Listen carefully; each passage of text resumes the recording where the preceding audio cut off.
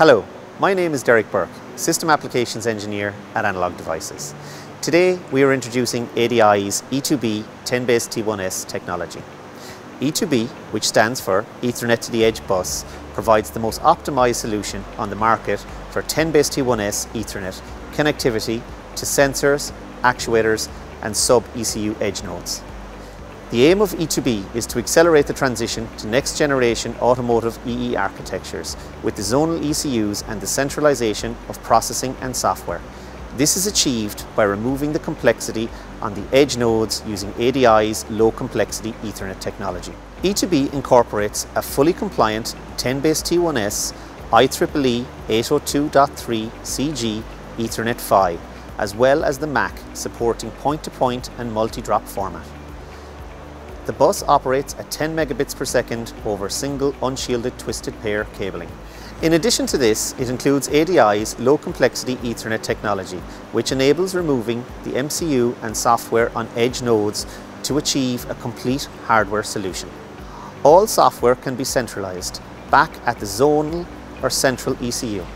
This brings some very significant system advantages, including an all hardware edge node, which simplifies implementation, Additionally, it reduces latency and boot time, lowers power consumption and reduces the form factor. Centralizing of software to one area rather than distributed over the edge nodes makes maintenance easier along with simplifying over-the-air updates. In our demo today, we show real-life applications represented on our car model. Two zonal 10BASE-T1S networks are represented here, a front zone and a rear zone. A zonal ECU implementation here consists of an E2B 10BASE-T1S device connected to a microcontroller via the new Open Alliance SPI interface. The zonal ECUs are then connected through the Ethernet switch back to our Surface tablet as represented here by the cloud.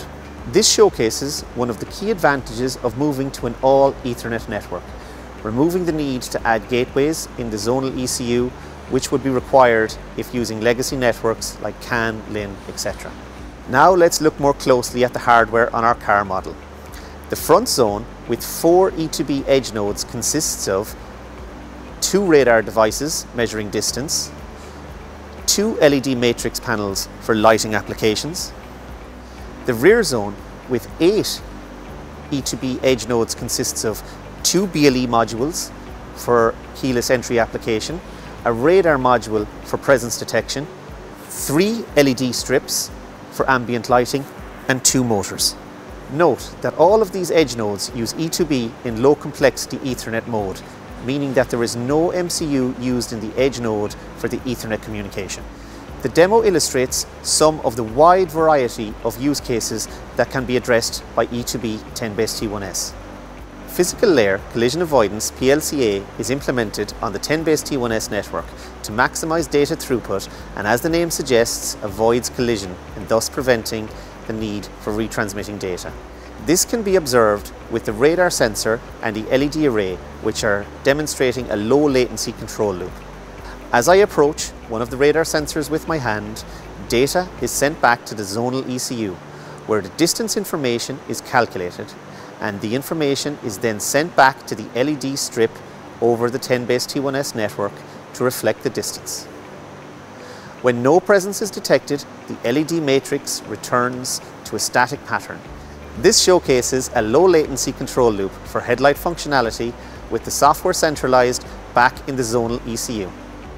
Next, on the rear zone, we show BLE modules used for keyless entry applications. I connect my cell phone to one of these BLE modules and the ambient light LED strip indicates my phone distance to the car.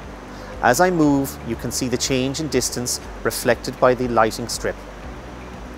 Again, both the BLE node and the lighting node do not use an MCU for Ethernet connectivity. The radar module in the back is working in presence detection mode. This acts as a kick sensor to start the two motors on the same 10BASE-T1S network. The central ambient lighting strip also reacts to the presence detection. The motors work in sync with each other as the two E2B devices implement a hardware version of IEEE 802.1 AS, time-sensitive networking for multi-drop configurations. With TSN enabled, the motors on the two different remote nodes start, rotate and stop in sync. Now, when I disable TSN on the GUI, you can see that the motors will go out of sync and will collide as they no longer have a common time base. ADI's hardware implementation greatly simplifies bringing TSN to remote edge nodes. With our GUI, we demonstrate the ability to support over-the-air updates, a key advantage of moving to the all Ethernet connectivity. Here, we centrally control the different applications, turning on or off features and selecting light patterns. This shows the seamless transition from one Ethernet technology to another one using a simple switch with no gateways required. Our E2B 10BASE-T1S products are available for sampling now. Please contact your local Analog Devices representative for more information.